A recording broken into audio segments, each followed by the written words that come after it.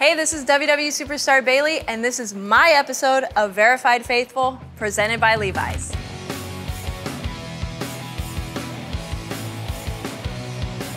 I grew up on the south side of San Jose, which my mom just told me the other night is called Blossom Valley near Oakridge Mall. And then when I was moving into middle school, I moved to northern San Jose and I was right on that border of Milpitas and San Jose. In the Bay Area, you would find me hanging out at a La Vic's or iguanas. You know, I love Mexican taquerias in the Bay Area. I love skating. I loved rollerblading. I loved playing kickball at my middle school and high schools. So when I was in Independence High School, I would go to the track and field and just do my workouts, but then I would invite my friends afterwards so we could play kickball and just hang out on the bleachers. When I was a child, my dad obviously he got me. I was such a tomboy growing up, so he he can already tell that I was going to be an athlete, that I wanted to play sports. So every time football came on or basketball and wrestling, obviously, um, he would have me sit down and watch with him. So I guess like when I was a younger kid, he got me one of the satin 49er jackets from the Goodwill, and I thought it was the best. It kept me so warm, and I just felt really cool that my dad got it for me. I, I met Jerry Rice at the Great Mall.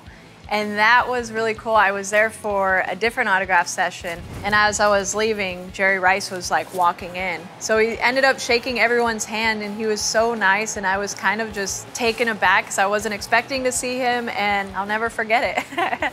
I have been to a 49ers game and it was at the beautiful Levi Stadium and it was so, so amazing just being outdoors. And so being able to come to the stadium and just be in the atmosphere of all these amazing fans. These Bay Area people are wild, you know, they're like me, so it was so much fun. The Bay means everything to me. Uh, first of all, my WWE wrestling name is Bayley. It was presented to me as B-A-I-L-E-Y. You know, they were like, you need, you need a name, we need to get you on TV, you need this. The only way I was going to use that name is if we spelled it B-A-Y-L-E-Y, because I had to feel some connection to it, which made me feel really empowered and really proud to be from the Bay Area. I obviously am a huge fan of George Kittle because he's a huge fan of us. Once I heard that there was a wrestling fan on the Niners, I had to start looking him up and seeing what he was all about and just make sure that I represented him and that I supported him. I've been so wrapped up in um, WWE world that, you know, I have to shout out George Kittle.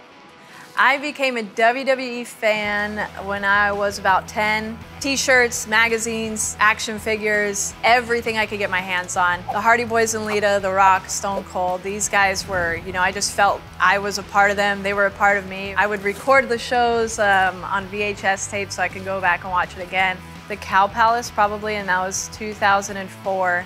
It was a pay-per-view called No Way Out. That was when Eddie Guerrero first won his WWE Championship. So it was so amazing. And he jumped into the crowd and he carried the California flag and you could just see people in the front row with their Warriors jerseys and their Niners jerseys. It was just such a feel-good moment. I couldn't believe I was there. I chose to donate to the Mental Health Association of San Francisco. You know, I've never worked with this charity before, but when I found out I was doing this with Levi's and the 49ers, I really wanted to make sure that I connected and donated to a charity that, you know, I want to learn more about and I want to be more involved with. And this is a nonprofit charity organization who's located obviously in the Bay Area and they are just focused on our diverse community and the importance of mental health. They have the mental health line 24/7. They're a peer-led group and, you know, they have just been bringing the community together for years and years. I just had a friend recently who committed suicide. So it is right now something that's very important to me. I've had friends over years, obviously, who struggle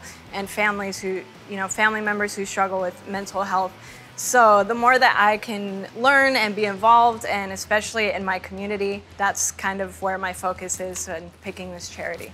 My character, um, Bayley recently has been really into turtlenecks. I want to claim that turtlenecks are my thing, so anybody else in the WWE trying to wear turtlenecks, it just better stop now. I try to dress a little darker, a little rocker-ish. Uh, right now I am lucky enough to be wearing this really cool Levi's uh, kind of denim wash jacket.